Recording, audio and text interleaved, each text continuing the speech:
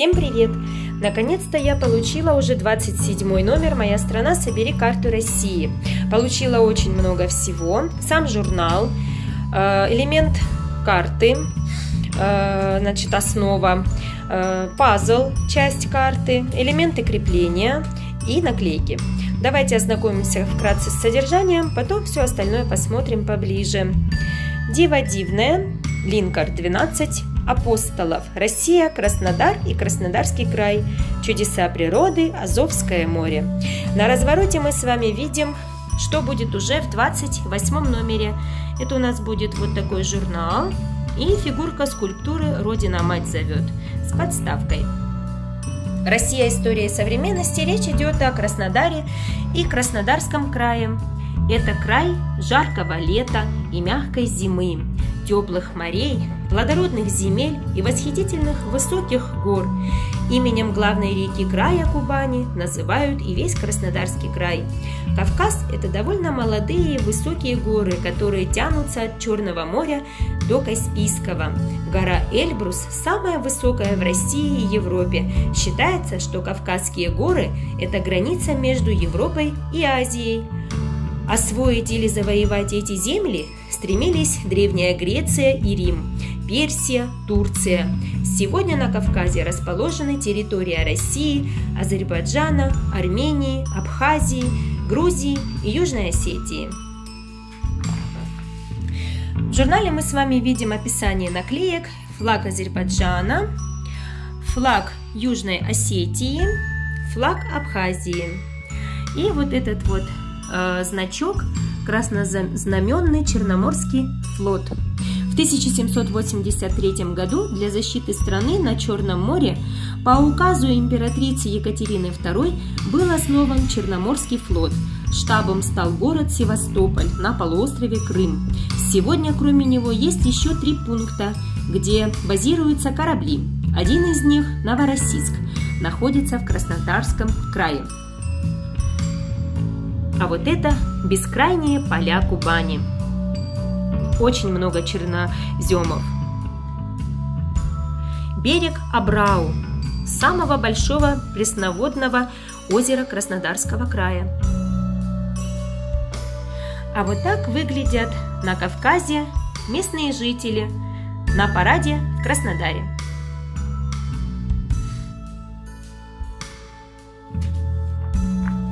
Также можно встретить вот такой памятник. Это памятник императрице Екатерины II на центральной улице Краснодара Красный. Какой необычный, красивый памятник. Еще один флаг, флаг Казахстана с описанием. Река Кубань с юга и юго-запада как будто обнимает Краснодар. Секреты зодчества – Краснодарский модерн. В Краснодаре есть несколько удивительных строений. Они разные, но относятся к одному стилю – модерн. Все они стали украшением города, и у каждого своя интересная история. В центре Краснодара на пересечении улиц Красной и Бабушкина стоит Александровская триумфальная арка из красного кирпича. Вот она. Подробно интересная история описана в самом журнале. Но мы останавливаться не будем, потому что это займет много времени. Можно также встретить вот такой красивый, смотрите, какое красивое здание. Стены отделанные зеленой керам... керамической плиткой, которая сверкает на солнце. Очень красиво. А вот это Краснодарский краеведческий музей, бывший особняк Шарданова. Чудеса природы, Азовское море, омывающее с северо-запада Краснодарский край, Азовское море – самое маленькое море нашей страны и одно из самых маленьких в мире. Пляж из ракушечника по-особому шелестит под легким накатом волн. На, на островке Птичьем, вблизи Ейской косы, гнездятся чайки – бакланы и кудрявые пеликаны. Как много здесь птиц! Также в море можно увидеть вот таких интересных, красивых существ. гребневики, мнемиопсисы, могут светиться в темноте. Также в Азовском море обитает очень много разнообразной рыбы, которую кочуют из Азовского моря в Черное море и обратно. У азовки, в отличие от дельфинов, нет клюва, а лоб покатый. Ну, очень похож на дельфина. Дива дивная, линкор, 12 апостолов. Линкор – это линейный корабль. Название «линейные» такие корабли получили потому, что в бою они выстраивались в одну линию, бортом к противнику. На этой картинке, смотрите, на картине Ивана Айвазовского «Смотр Черноморского флота» в 1849 году. Первый корабль «12 апостолов». Бомбические пушки. Впервые на российском корабле установили 38 пушек.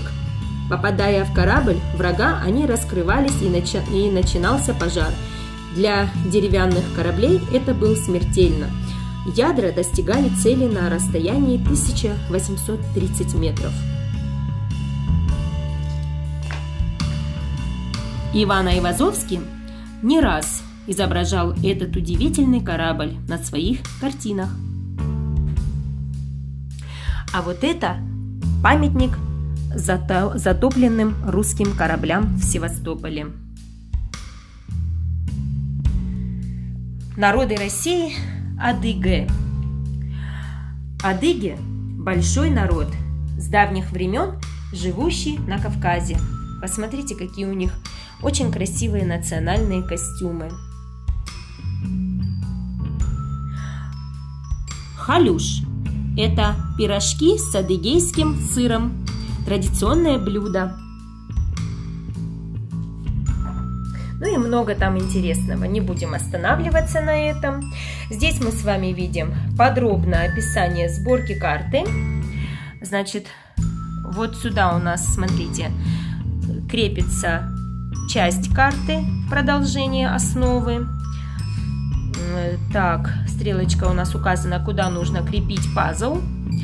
Так, здесь у нас мы видим э, стрелочками также подробно показано, куда нужно наклеечки клеить. И вот здесь, на этой картинке, мы с вами видим, как уже выглядит карта с сегодняшним номером. Она уже довольно большая, получается, карта. Но я пока что карту не собираю на стене. Э, хочу собрать полностью все детали. Пока мы смотрим, собираем частями на полу. Она уже довольно большая. Вот. Ну, потом уже с детьми, как соберем все, будем вместе крепить. Здесь мы видим с вами разные задания с подсказками. Ну, давайте теперь посмотрим все остальное поближе. Вот они у нас наклеечки. Наклейки мы с вами видели описание в журнале.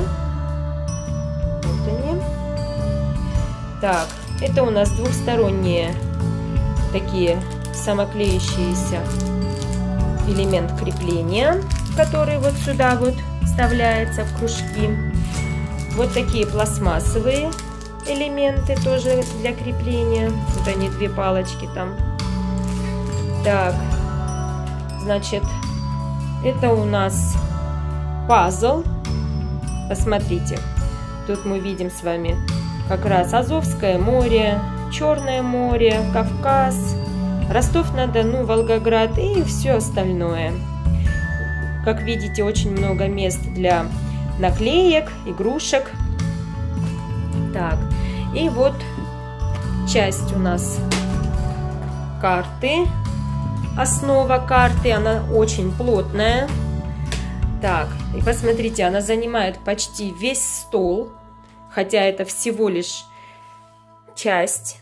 Вот сюда у нас вставляется пазл, прикрепляется она вот такими кружочками самоклеющимися двухсторонними вот этими наклейками. Так, ну вот так вот у нас это должно выглядеть.